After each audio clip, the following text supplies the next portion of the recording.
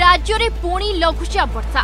পশ্চিম কেন্দ্রীয় সংলগ্ন উত্তর পশ্চিম বঙ্গোপসাগর তথা উত্তর আন্ধ্র এবং দক্ষিণ ওড়িশা উপকূল অঞ্চলের সৃষ্টি হয়েছে ঘূর্ণিবলয় এর প্রভাবে আগামী অড়চাশ ঘণ্টা মধ্যে এক লঘুচাপ ক্ষেত্র সৃষ্টি হবার সম্ভাবনা রয়েছে রাজ্যের গঞ্জাম পুরী কন্ধমাল ও গজপতি জেলার গোটিয়ে কিংবা দুইটি স্থানের প্রবলর অতি প্রবল বর্ষা হবার সম্ভাবনা রয়েছে আঞ্চলিক পাপাগ বিজ্ঞান কেন্দ্র পক্ষ সূচনা মিছে এসবু জেলা অরেঞ্জ ওয়ার্নিং জারি করা एक लघुचाप लो प्रेशर होने का चांसेस है। अगला अड़चालीस घंटा में हमारा west central Bay of Bengal adjoining north west Bay of Bengal Orissa coast का पास ही होने का चांसेस है। इसका प्रभाव में हमारा उड़ीसा का कुछ डिस्ट्रिक्ट्स में heavy to very heavy rainfall होने का चांसेस है।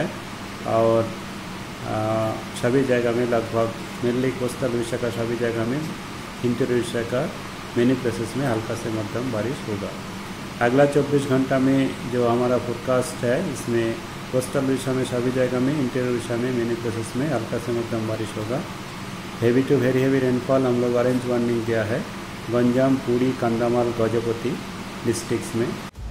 ଅକ୍ଟୋବର ଏକରୁ ଦୁଇ ତାରିଖ ମଧ୍ୟରେ ଜଗତସିଂହପୁର କଟକ ପୁରୀ କେନ୍ଦ୍ରାପଡ଼ା ଏବଂ ଢେଙ୍କାନାଳ ଜିଲ୍ଲାର ଗୋଟିଏ କିମ୍ବା ଦୁଇଟି ସ୍ଥାନରେ ପ୍ରବଳରୁ ଅତି ପ୍ରବଳ ବର୍ଷା ହେବାର ସମ୍ଭାବନା ରହିଛି ଏସବୁ ଜିଲ୍ଲାକୁ ଅରେଞ୍ଜ ୱାର୍ଣ୍ଣିଂ ଜାରି କରାଯାଇଛି ସେହିପରି ପ୍ରବଳ ବର୍ଷା ସମ୍ଭାବନାକୁ ଦୃଷ୍ଟିରେ ରଖି ଗଞ୍ଜାମ ଅନୁଗୁଳ ଯାଜପୁର ଭଦ୍ରକ ବାଲେଶ୍ୱର ମୟୂରଭଞ୍ଜ କନ୍ଧମାଳ ନୟାଗଡ଼ ବୌଦ୍ଧ ଏବଂ ଖୋର୍ଦ୍ଧା ଜିଲ୍ଲାରେ ଗୋଟିଏ କିମ୍ବା ଦୁଇଟି ସ୍ଥାନରେ ପ୍ରବଳ ବର୍ଷା ହେବାର ସମ୍ଭାବନା ରହିଛି ଏହି ଜିଲ୍ଲାଗୁଡ଼ିକୁ ୟେଲୋ ୱାର୍ଣ୍ଣିଂ ଜାରି କରାଯାଇଛି हमारा फ़र्स्ट अक्टूबर फ़र्स्ट अक्टूबर का जो फोरकास्ट है, इसमें भी कोस्टल उड़ीसा में मोस्ट ऑफ़ द प्लेसेस में हल्का से मध्यम बारिश रहेगा, और इंटर उड़ीसा में मेनी प्लेसेस में रहेगा।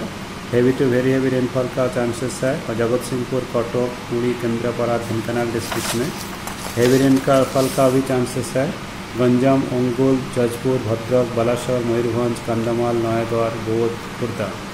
उसके बाद भी दो से पाँच तारीख तक दो से चार दो तीन चार दो से चार तक चार व पाँच तारीख तक भी रेनफॉल एक्टिविटी रहेगा उस ଦାନା ବାନ୍ଧୁଛି ଆଉ ଏକ ଲଘୁଚାପ ଏହାର ପ୍ରଭାବରେ ରାଜ୍ୟର ବିଭିନ୍ନ ସ୍ଥାନରେ ବର୍ଷା ହେବାର ସମ୍ଭାବନା ରହିଥିବା ବେଳେ ଟ୍ୱିନ୍ ସିଟିକୁ ୟେଲୋ ୱାର୍ଣ୍ଣିଂ ଜାରି କରାଯାଇଛି ବ୍ୟୁରୋ ରିପୋର୍ଟ ଅର୍ଗସ୍ ନ୍ୟୁଜ୍